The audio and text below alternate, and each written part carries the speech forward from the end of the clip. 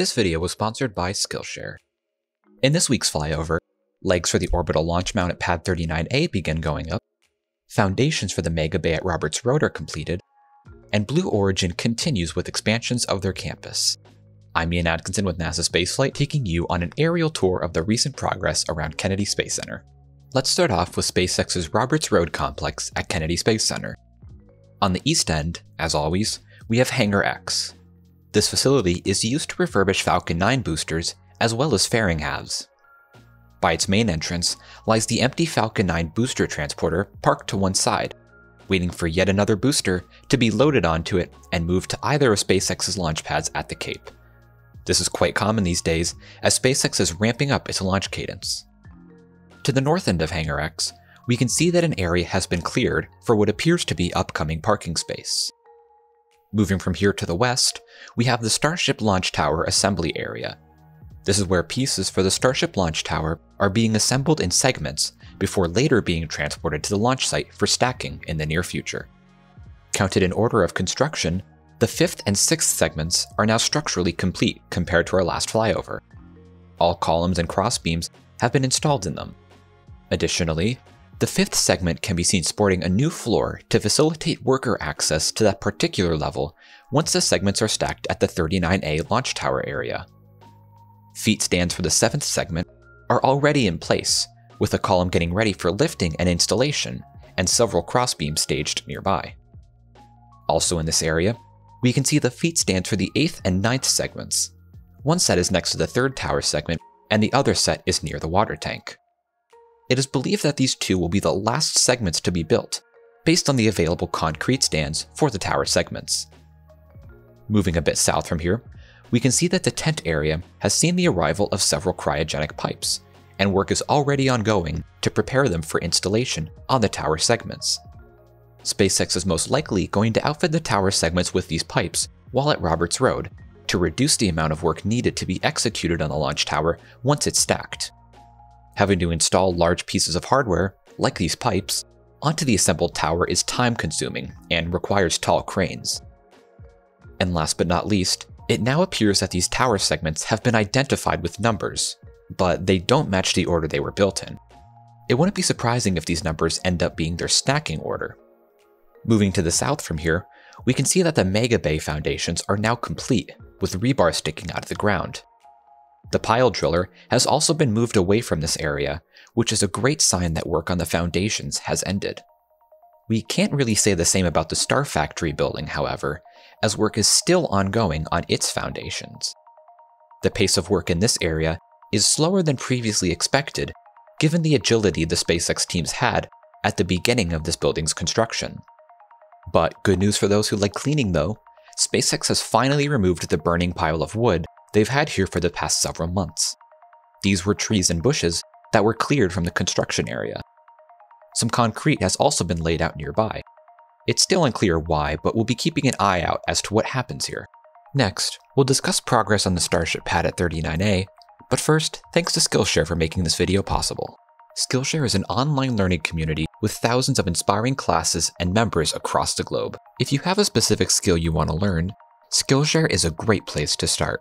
I personally was interested in their culinary classes. I love cooking and baking, and there is such a wide variety of courses available for any type of chef or baker. One of my favorites was Think Like a Chef by Kenny Monroe and Christian Perkins, where they teach you the patterns of cooking with little tips and tricks along the way. In the course, they go over knife usage, what types of cookware you actually need, preparing a few dishes without exact recipes, and presentation. I think one of the most helpful things I learned from the course is that the food is done when it's done. You don't need to follow a specific timer. I think this course has helped me to not only see the ingredients in a new light, but also how to be a safer chef. Head over to Skillshare today. The first 1,000 people to use the link below, or our code NASA Spaceflight 0522, will get a one month free trial. Thanks again to Skillshare for sponsoring this video. SpaceX has started installation of the legs for the orbital launch mount, with three already visible in this flyover. It is notable that these legs don't sport any elbow structures like the ones do at Starbase. It is yet to be seen whether they'll be added at a later time, or if this launch mount design already takes into consideration the absence of these elbows. the base of the Starship launch tower remains visibly unchanged. It is likely that teams are waiting for the concrete to cure before pouring the next section. It is also to be expected that minor work is still ongoing on the interior areas of the base. On the main ramp of Pad 39A, we can see the Transporter Erector, or TE, used for Falcon rockets, now having its top section in Dragon configuration. The TE uses two different top sections depending on whether they're performing a mission with a Dragon or a fairing on top of the rocket.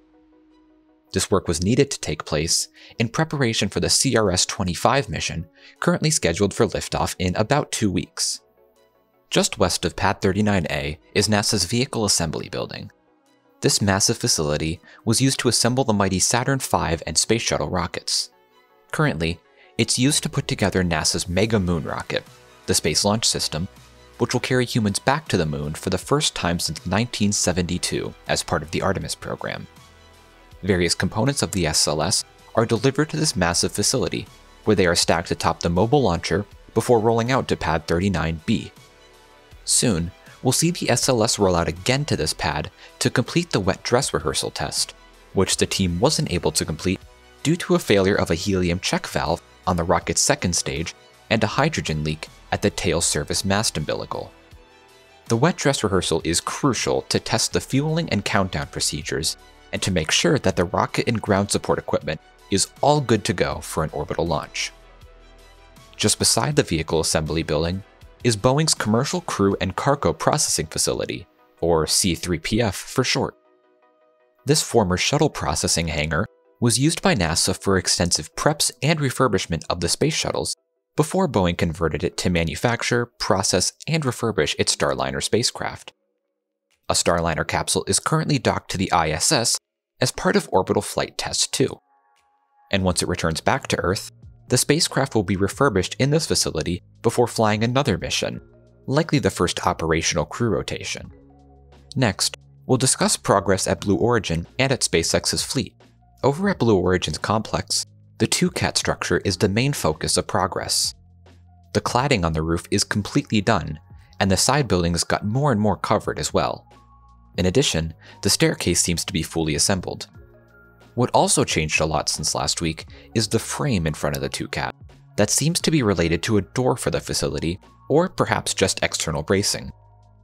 If it is a door, it may be used to seal the building in the future when it hosts the precious New Glenn second stages. Also at Blue Origin, we saw a wrapped dome structure in front of the rocket factory. While this is of course speculation, it seems to be in a range of about 7 to 8 meters in diameter, based on very rough guesstimations. If only there was a rocket that had a diameter of about 7 meters that could be built here. Hmm. Anyway, the warehouse expansion at the southern end of the campus is slowly progressing as well. Since our last flyover, Blue has submitted updated plans that no longer show a building in the center of this area. Now, they plan to build a maintenance support facility and extra storage areas just to the west of there. Over at the Kennedy Space Center Visitor Complex is the Rocket Garden, which houses various old rockets on display. Beside it is the complex's newest attraction, the Gateway Building, which will be opening soon. Inside it is a flight proven Falcon Heavy side booster, B 1023, suspended from the ceiling, which supported two orbital launches before moving into the new building. Once it opens, people will be able to get up close and personal with the sooty first stage of America's workhorse rocket. Nearby, we spotted a pair of Space Shuttle era tail service masts, or TSMs. These were used to fuel the shuttle on the pad, as well as maintain data and electrical connections. It is believed that these two are from Mobile Launch Platform 2. At the launch and landing facility, we spotted some construction work taking place at a patch of land just beside the runway. This is the first stage of Space Florida's development to attract even more industry to the area. The first phase of this expansion will have over 400 acres of usable land, and, according to Space Florida, potential uses for this site include operational hangars, office space, aerospace manufacturing, and more. Over at Air Liquide, things still look unchanged since our last flyover. It's unclear if the upgrades needed for SLS have been implemented or not, since the appearance of the facility hasn't changed a bit. At Port Canaveral, Booster 1052 5 sits atop a shortfall of gravitas after having arrived hours earlier at the dock. The booster and drone ship were part of SpaceX's Starlink Group 4 18 mission that launched just last week from Pad 39A. The tug in charge of bringing the drone ship back to port was none other than SpaceX's multi purpose recovery vessel, Doug. This vehicle helps SpaceX's recovery crews quickly approach the booster once it's safed on top of the drone ship. It is capable of scooping Falcon 9 fairing halves out of the ocean. These days, recovering intact fairing halves from the ocean is routine, and we can see here that Doug indeed came back with both fairing halves from the mission without any visible damage. And that's it for today's flyover. Be sure to check out our daily videos of Starbase and Boca Chica as well, to stay up to date on everything SpaceX and Starship. Finally, thanks to all our members who make videos like this possible. See you all in the next flyover.